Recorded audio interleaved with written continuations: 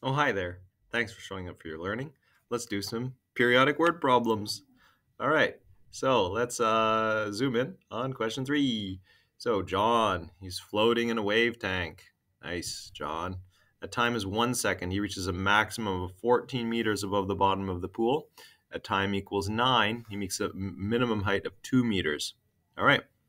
So let's see. If this was 0, 2, 4, 6, 8, 10, 12, 14, we could do a scale of 2 here. So let's do that. 2, 4, 6, 8, 10. So that's my 10. And then uh, 12, 14, there's my maximum. So I go ahead and I put a little dotty line along my maximum. The minimum was uh, uh, 2 meters above the bottom of the pool. So let's do a little dotty line along the minimum. The x-axis, coincidentally, is the bottom of the graph down there. And the midline between 2 and 14 is 8. So I can put a little dotty line along there. So um, these are the things that we've already discovered. Uh, maximum, it was told to us. Minimum, it was told to us. And then you do 14 plus 2 divided by 2. And that will give you the midline. Uh, this is uh, 8. And then the amplitude here is just 6. You, you could get that by doing 14 minus 2 divided by 2, and that will give you 6. Or you can just say, like, look, I know 14 is 6 above 8, and I know 2 is 6 below 8, so that's my amplitude. All right, now let's go ahead and, and plot our points, okay?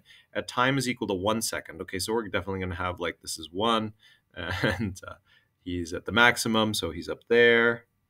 All right, let's use another color. We'll use black. Yeah, cool. So he's up there at time is one. And then at nine seconds, so two, three, four, five, six, seven, eight, nine, he's down there. All right. Now, um, what we know is from one to nine, that's eight seconds. And that tells me that we've gone through half a period because it takes half a period to go from a maximum to a minimum. Um, so the period is 16. So if I go over another 8, so 9 plus 8 would give me 17.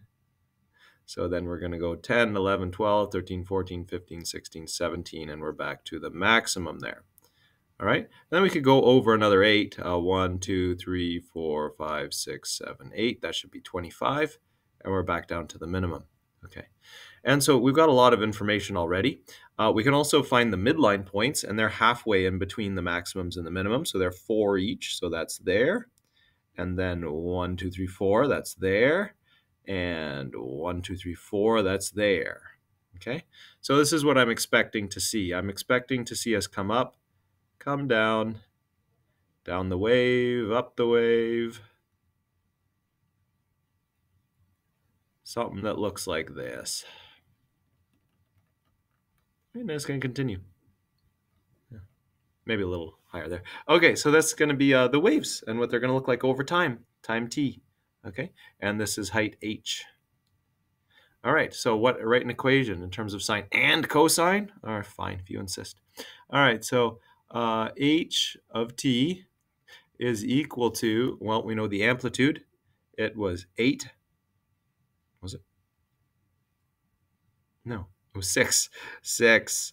Uh, and we're to do sine first. Sine of bracket. What's the period? Well, the period was uh, 16. So I need to go um, 360 divided by 16 to find uh, k. I believe that was like 22.5 or something weird. Calculator. 360 divided by 16 gives us 22 and a half. I, am not in a state to do that in my head. I just remembered that because I calculated that like recently. It's 22 and a half uh, multiplied by x minus d. We don't know d yet. And then we're going to do plus. Uh, midline is 8. Okay, now let's take one of these points. Uh, let's, we could, let's work with a maximum. It's going to be the easiest one to work with. So we can, um, well, here's another thing that we could do. Okay, because I know exactly where it's crossing the midline, I can just use transformations here, all right? This point is, uh, let's see if I remember, that's 9, that should be 13. This is uh, the point 13, comma 8. Oh gosh, someone else loves Fibonacci numbers. Oh, cool. So that's uh, this has been shifted to the right by 13, so D will be 13. So here is one. H of t equals 6 sine 22.5 times x minus 13 plus 8. How did you do that without algebra? Well, I know that sine starts at the midline and goes up. So that's normally the starting position of sine. If we didn't have a d transformation, that point would have been there. But we moved it that way to the right by 13. So I'm just going to use transformations to know that instead of calculate that.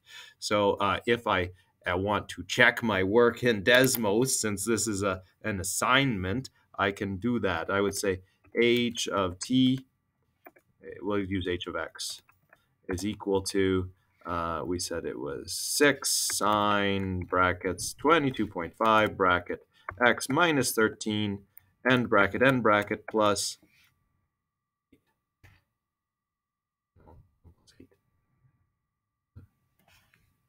yeah it was that was our function yeah right and so what's wrong here oh right uh, it's uh this is the problem we're not in degrees there we go so now let's look at it. All looks pretty familiar.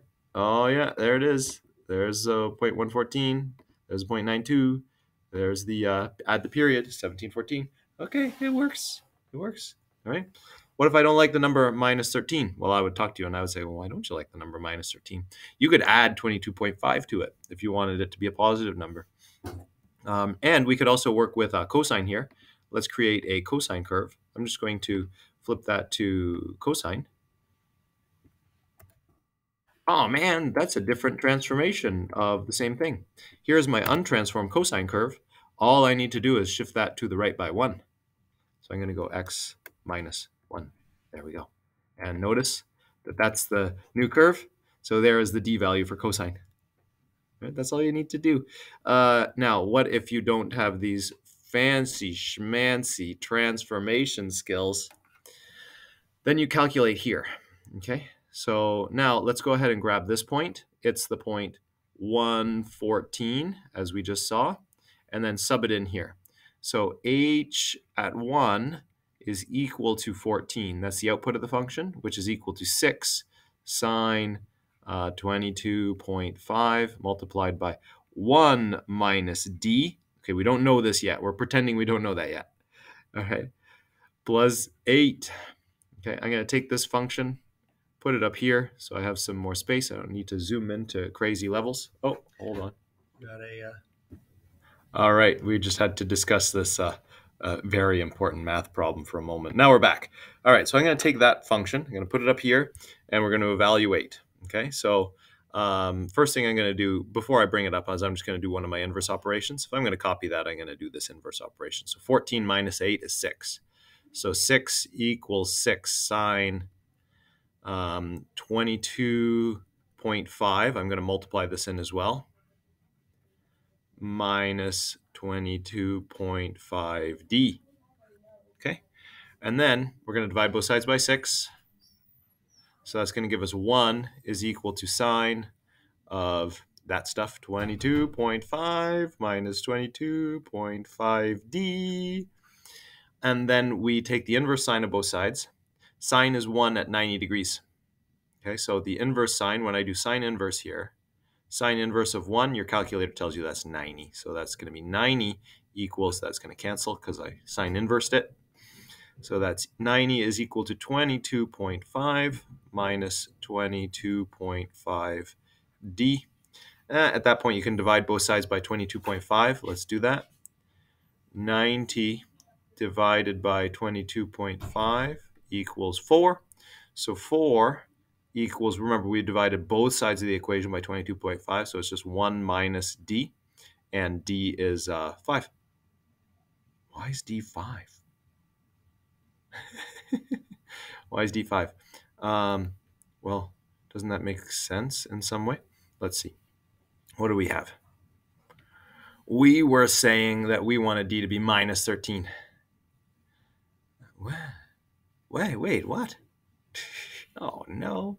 What's going on? So, yeah, yeah, yeah. So, uh, 114. Our other one works, so we must have the mistake here. So if d is, no, d is not 5. d is minus 6. Wait, I am so, no, d is minus 5. Minus 5. My, wait. Oh my goodness. No, minus 3. Oh, geez, do the algebra, Mr. Jennings. Oh my goodness.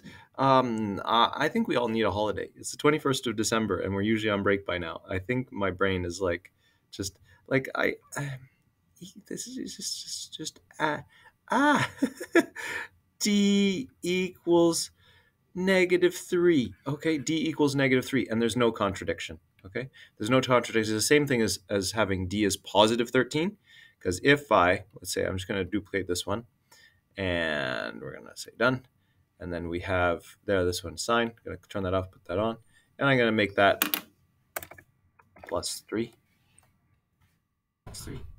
Same. Look, they're the same function. Okay. Why?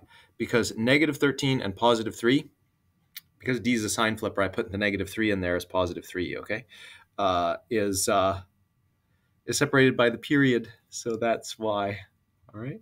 So, uh, congratulations. You got to see me have a mini meltdown over not being able to solve a one step algebraic equation correctly and finding all kinds of different values that were confusing me in all kinds of different ways. So uh, we've all been there, and we'll all be there again. Uh, making mistakes in math is, is a periodic thing. Sometimes everything goes well, you're on the top of the world. Other times you just make a bunch of mistakes and nothing is working. But don't worry, it gets better. All right. Bye for now, everyone. Any questions, have, have an email.